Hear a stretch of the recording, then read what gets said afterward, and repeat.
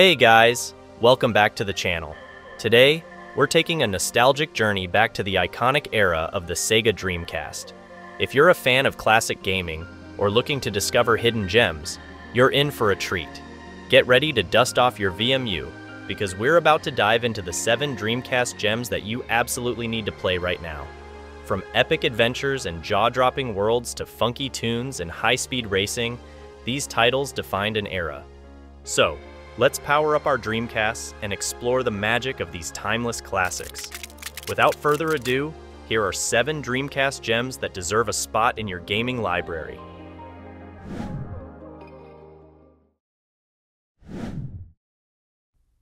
Meet Vyse, a valiant air pirate sailing the skies with his crew, the Blue Rogues. In the floating world of Arcadia, where continents hang in the sky, Vyse's journey takes an unexpected turn when he rescues a mysterious girl from the clutches of the oppressive Valua Empire. Little do they know, this act sets them on a course for an epic tale that threatens the very existence of their world. At first glance, Skies of Arcadia might seem like your typical RPG, but don't be fooled. As the game progresses, it evolves into something truly remarkable.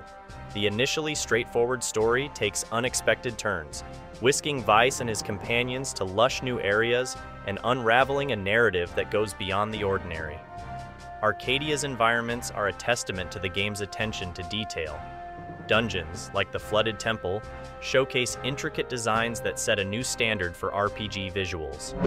The game's third-person chase camera view adds a unique perspective, making towns and dungeons equally enchanting and allowing players to appreciate the surrounding beauty. Random monster encounters are a staple in RPGs, and Skies of Arcadia doesn't shy away from them. Whether sailing the skies or exploring dungeons, Vyse and crew face their fair share of challenges.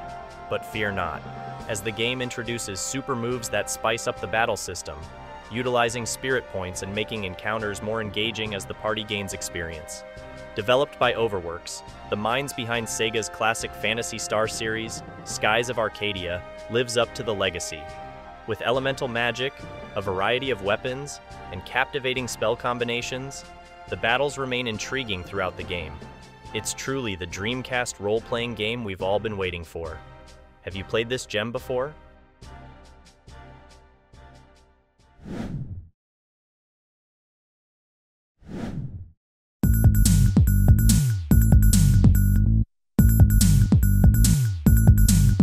Tokyo Xtreme Racer, developed by Genki, takes the racing genre to a whole new level. Forget multiple tracks, licensed cars, and realistic driving models. Instead, picture this. One massive track, unlicensed cars, no body damage, and an emphasis on high-stakes races on the highways of Tokyo. The result? An unexpectedly fun and addictive single-player racing experience. The core of Tokyo Xtreme Racer lies in its quest mode, Starting with a modest budget, you purchase one of 25 fictional cars and hit the Tokyo highways. The gameplay revolves around challenging streetwise opponents, labeled as rivals, to races. The twist? A fighting game-style energy meter determines the winner. Flash your high beams, challenge opponents, and earn money to upgrade your car or buy a new one. The quest mode becomes a compelling and addictive journey through Tokyo's streets. The opponents are divided into gangs, each with its own set of members. Defeat all members of a gang, and you face the gang leader in a decisive race.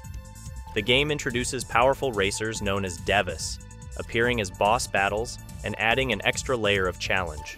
The sense of progression and the thrill of facing tougher opponents make every race a high-stakes encounter. Earning money through victories allows you to upgrade your car. The customization options go beyond performance upgrades offering cosmetic changes like paint jobs and stylized accessories. The simplicity of the upgrade system makes it accessible for both novice and experienced players, ensuring a satisfying progression. While Tokyo Xtreme Racer isn't without its flaws, such as a somewhat unrealistic driving model and a single massive track, its addictive gameplay overshadows these concerns. The game could benefit from additional features like alternate paths, weather conditions, and time-based effects. Despite these potential enhancements, the game's unique concept and sheer addictiveness make it stand out in the Dreamcast lineup.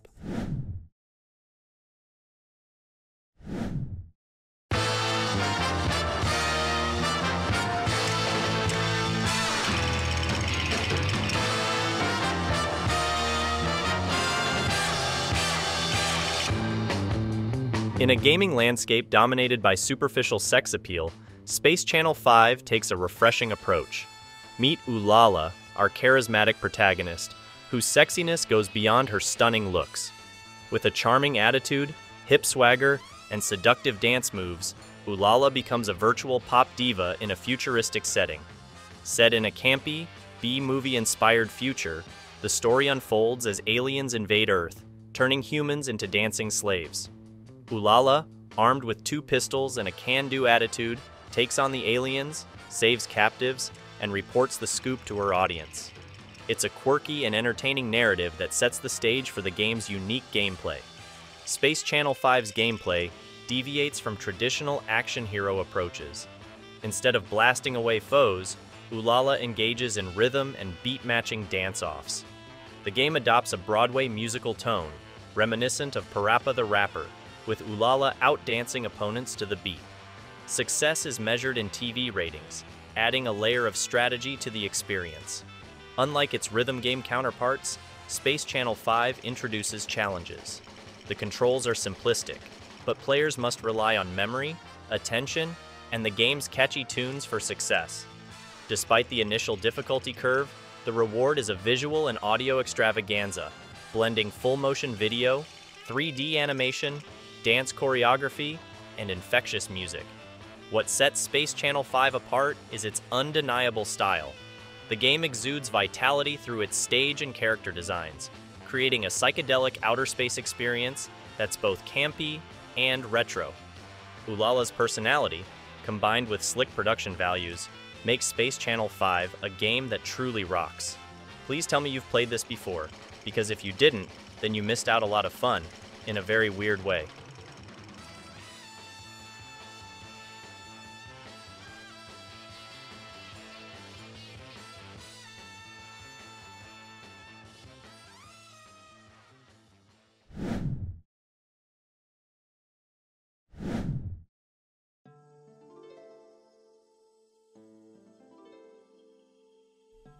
Grandia 2 doesn't conform to the typical RPG hero stereotypes. Instead, it introduces us to Ryudo, a foul-mouthed geohound, and his eclectic group of companions. From a talking bird to a naive nun with a demon inside of her, this motley crew embarks on a quest to save the world while navigating their own unique dynamics.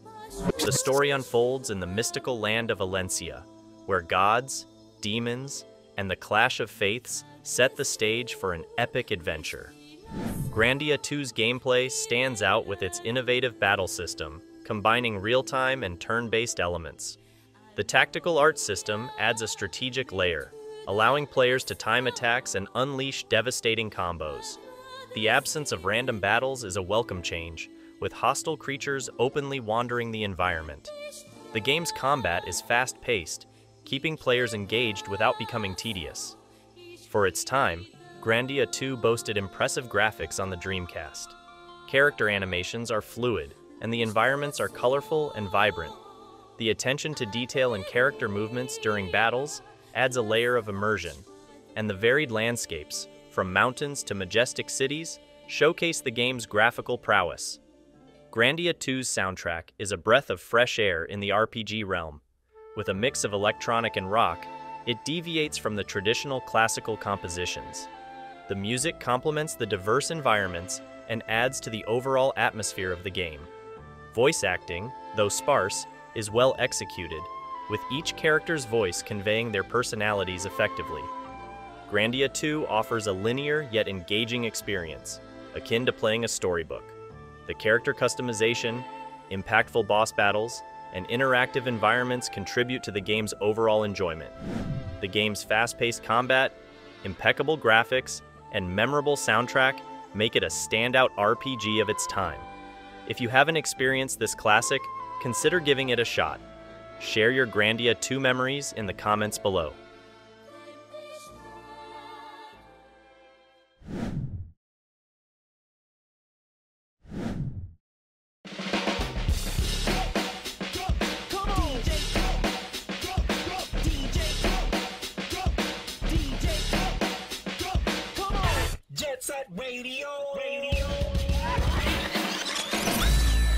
Welcome to Tokyo To, a city divided among inline skating graffiti artist gangs. You're in control of the GGs, defending your turf from rival gangs while exploring the city to mark up their territory. DJ Professor K of Jet Set Radio, a pirate radio station, guides you through the plot, adding a unique narrative layer reminiscent of classic gang films. Each level comes with a time limit, a life meter, and numerous areas to tag. But it's not all fun and games. The law, starting with Keystone Cops, intensifies as you progress. From tear gas launching cops to gunship helicopters, the challenges keep escalating. Officer Onishima, a relentless cop, adds to the chaos, making sure you stay on your toes. Jet Set Radio maintains a nice pace, introducing you to skating, painting, and tricks through training exercises. Initially easy, the game ramps up in difficulty as you face tougher cops, scarce paint cans, and hard to reach tagging spots. Boss fights against rival gangs and creative challenges keep the gameplay engaging. Jet Set Radio's cel shaded style is a visual masterpiece. While characters and environments aren't polygon heavy, the smooth animation and innovative cel shading give the game a unique, hand drawn look. It's a graphical marvel that sets Jet Set Radio apart. Matching the visual excellence, Jet Set Radio's sound effects and music are top notch. The grinding noises and spray paint sounds are immersive, while the hip hop beats in the soundtrack perfectly complement the action. It's a sonic experience that elevates the overall gaming atmosphere. Jet Set Radio delivers an exhilarating experience with its redefined visuals, challenging gameplay, and a soundtrack that'll keep your heart racing. Have you played it before? Share your experience in the comments below.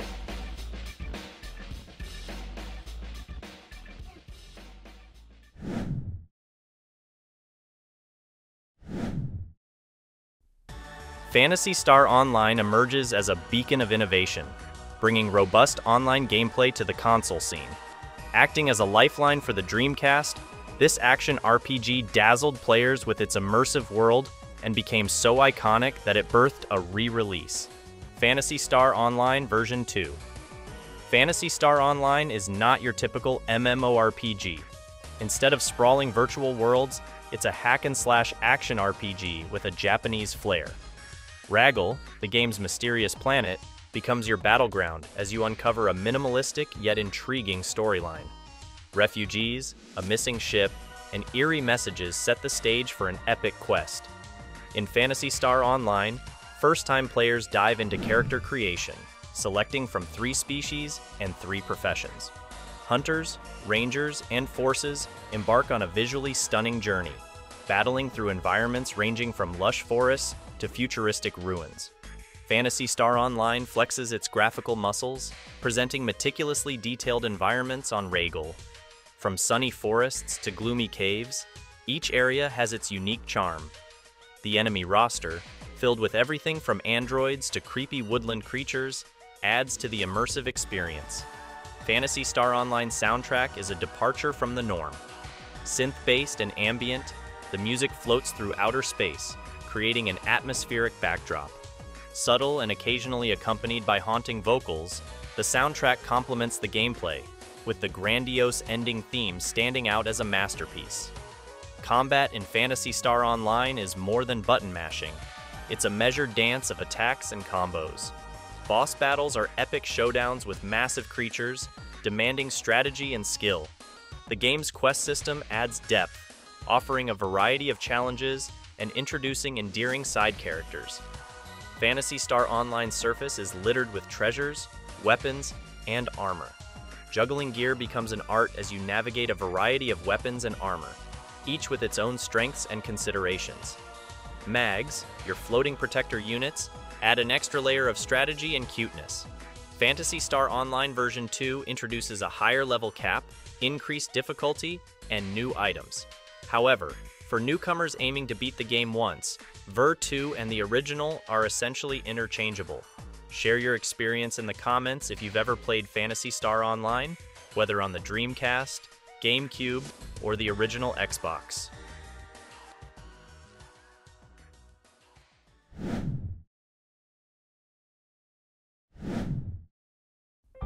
Set in 1986, Shenmue follows the story of Ryo Hazuki, a teenager who witnesses his father's murder, sparking a quest for vengeance. The game takes you through the streets of Yokosuka, Japan, and later to Hong Kong. Shenmue combines martial arts action with a meticulously detailed life simulator. Despite the urgency of Ryo's mission, the game unfolds slowly, allowing players to explore the richly detailed Yokosuka, engage in mundane activities, and even work part-time jobs. The graphics in Shenmue are a mix of quaint nostalgia and attention to detail. Yokosuka, though small, is beautifully rendered with atmospheric touches like changing weather and seasonal decorations. The soundtrack complements the game's melancholy tone, creating a deeply emotional experience. Despite its age, Shenmue's unique charm and impactful moments still shine through. But Shenmue isn't just about vengeance. It's a world filled with captivating mini-games and activities. You can escape the drama for a while and head to the arcade, play darts, feed an orphaned kitten, buy from vending machines, collect toys, listen to music through cassettes, and even work a job to raise some extra money. The game's love for the mundane reaches its peak when Ryo gets a job at the harbor as a forklift driver, picking up crates and ferrying them between warehouses. It's gloriously unnecessary, but the kind of grounded escapism that makes Shenmue so bewitching. Shenmue 2 continues Ryo's journey, now in the vast city of Hong Kong. The gameplay remains similar, with Ryo wandering the streets, interrogating locals, and following leads. However, the larger setting and increased number of NPCs can make progression feel slower. The lack of hand-holding and the game's emphasis on exploration and logical thinking remain, offering a refreshing challenge. Shenmue 2 introduces new settings like Kowloon and Guilin, providing a change of scenery. While not reaching the atmospheric heights of Yokosuka, these locations offer a welcome shift. The PC version enhances the visuals with a crisp HD interface, anti-aliasing, and some bloom lighting, retaining the game's distinct character. Whether you're a longtime fan or new to the series, Shenmue's charm, sad tone, and distinctive elements, including its myriad mini-games, make it a gaming experience like no other.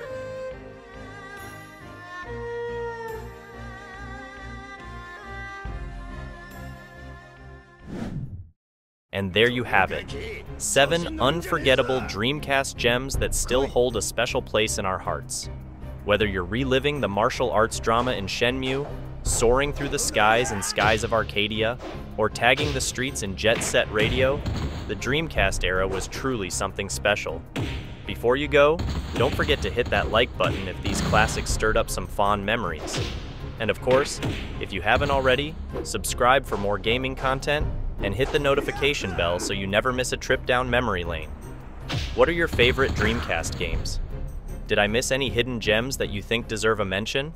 Share your thoughts in the comments below. See you in the next video.